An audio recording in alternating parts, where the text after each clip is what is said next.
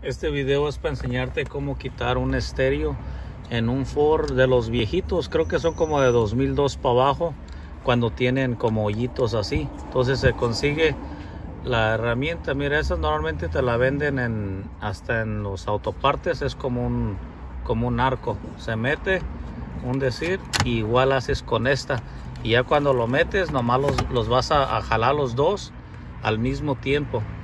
Lo, lo jalas y ya se, se sale, Entonces fíjate cómo traba aquí esto, cómo se atora. Fíjate ahí lo que, lo que realmente hace, mira. Ahí cómo se mete. Mira, como que si lo haces así y se sume. Entonces, eso es para sacarlo. Normalmente son igual todos estos del 2002. Este es un, un Lincoln. Es una, un Town Car.